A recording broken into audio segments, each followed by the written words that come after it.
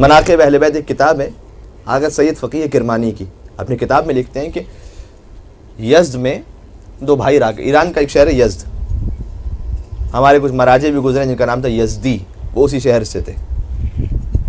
Yazd में वो दो भाई रहा करते थे, एक बहुत दीनदार और एक फासिक था। वहाँ एक काफिला बना के मौला रजा की ज्यारत पर जाते मशद तो काफिला उस ज़माने में ऊँट और घोड़े और इस पर सफ़र होता था, काफिला तैयार हो गया। तो जो फासिक भाई था, उसने आके कहा, मुझे भी साथ लेके चलो। कहा, जी नहीं। उन्होंने कहा, नहीं, हम आपको साथ नहीं ले सकते। इसे कि तुम ज़ायरों को और अजादारों को डिस्टर्ब करोगे। उसने कहा, नहीं, बहुत इसरार किया। बहुत इसरार किया तो उसके बावजूद मना करते रहे। आखिर में इसने कहा, तुम मुझे साथ नहीं लेके जाओगे, मैं खुद से आ जाऊँगा। वो खुद से ज़बरदस्ती काफिले में ज्वाइन हो गया। वो अपनी सवारी पर चल रहा था। और हंसब आदत उसने ये किया। अगरचे कि जब चला था तो बहुत वादे वहीद करके चला था कि मैं मौला का ज़ाहिर बन के सफ़र करूँगा, मैं किसी ज़ाहिर को अजियत नहीं दूँगा। लेकिन रास्ते में उसकी पुरानी आदत की बुनियाद पर पूरा काफिला उससे परेशान हो गया। यहाँ तक कुछ लोगों ने बदुआएँ भी दी उसे। और फिर हुआ ये कि रास्ते ही में उसकी तबीयत ख़राब हुई और उसका इंतकाल हो गया। और उस दीनदार भाई ने गसल कफन दिया। मशद के करीब पहुँच चुके थे। उसने सोचा कि गसल कफन नमाज़ जनाजा तो हो गई है, लेकिन मैं दफन इसे मशद में कर दूँगा। मशद में लेके दाखिल हुए, दफन कर दिया मशद में। कुछ दिनों बाद ख्वाब में देखा भाई को। एक्सपेक्टेड यह था कि भाई कुछ जहन्नम में होगा, कहीं अजाब में होगा, कहीं आग के दरमियान होगा। देखा नहीं जनाब, बेहतरीन जन्नत में। देखिए मिस इंटरप्रेट नहीं कीजिएगा मुझे बाज बातों में। इसलिए कि बस अवकात लोग आधा वाक़ लेते हैं और आधा छोड़ देते हैं। यानी नमाज़ की अहमियत, रोज़े की अहमियत, हज की अहमियत, खुम्स की अहमियत, ये सब अपने मकाम पर। ये वो हैं कि जो इस्लाम के सुतून है। इसमें कोई शक नहीं। लेकिन इन सब चीज़ों को, जिन शर्त की बुनियाद पर कबूल होना है, वो शर्त क्या है? और फरमा उसकी जाने में निशानदेही कर रहा हूँ। वरना ये सब चीज़ें हैं। आठवें इमाम की हदीस है कि देखो हमारी मोहब्बत पर भरोसा करते हुए अमल को ना छोड़ना। और अमल पर भरोसा करते हुए हमारी मोहब्बत को ना छोड़ना। इसलिए कि ये दोनों एक दूसरे के बगैर कबूल नहीं होने वाले। अब उसने देखा जन्नत में वजह क्या थी? इन मजलिसों में किससे वास्ता देना है? गौर फरमाइए जरा। उसने कहा भाई तुम तो शायद अजाब में होने चाहिए। ये, ये क्यों तुम जन्नत में हो? का बात यह है कि आप ठीक फरमा रहे हैं। जैसे ही मेरा इंतकाल हुआ शदीद आग ने मुझे घेर लिया था। आग में जल रहा था बुरी तरह। का तुमने मुझे गुस्ल देने का इरादा किया?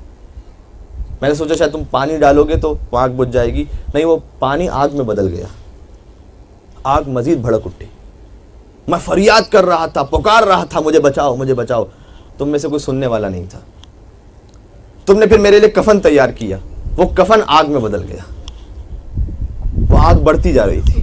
मैं चल रहा था आग में। चूँकि अमल नहीं किया था ना। सारे आजाब है ये। मैं चल रहा था। तुमने ताबूत तैयार किया। वो ताबूत आग में बदल गया। मैं शदीद अजाब में गिरफ़्तार था। यहाँ तक कि तुम मशहद पहुँचे। और तुमने ये इरादा किया कि दफन करने से पहले मौला रजा की जरी का एक तवाफ करवा लेते हैं। अल्लाह अकबर।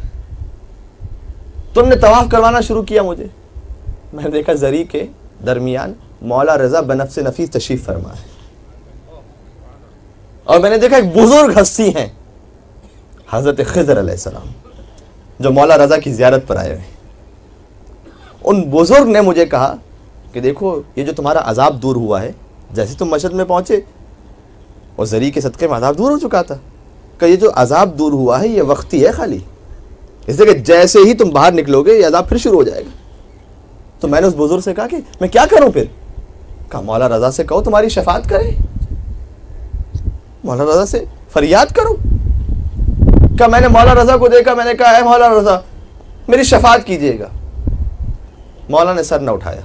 जवाब नहीं दिया मुझे मौला ने। खुदा न करे कभी वो मंजिल आए। एक चक्कर पूरा हो गया। उस बुज़ुर्ग ने कहा तो मौला रजा को पुकारते क्यों नहीं? मैंने कहा, मैं पुकारता हूँ, मौला जवाब नहीं देते। कब फिर पुकार के देखो? मैंने फिर पुकारा, मौला रजा, मेरी मदद कीजिए। मौला ने जवाब नहीं दिया। तीसरा चक्कर हुआ। उस बुज़ुर्ग ने कहा कि, देखो,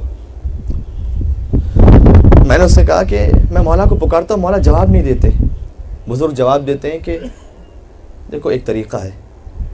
ये जो मौला रज़ा है ना, इन्हें अपनी माँ फातिमा जहरा से बहुत अकीदत है।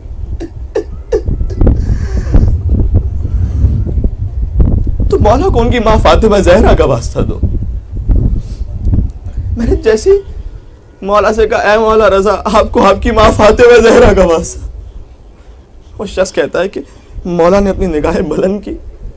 मैंने देखा मौला की आँखें सुर्ख थी और आँखों से आँसू जारी थी। मुझे देखकर कहते हैं शख्स तो शफात के काबिल नहीं था, लेकिन मैं क्या करूँ? तूने मुझे मेरी माँ का वास्ता दे दिया। मौला ने हाथों को बुलंद किया, कहा खुदा, तुझे मेरी माँ फातिमा जहरा का वास्ता इसकी शफात कर दे।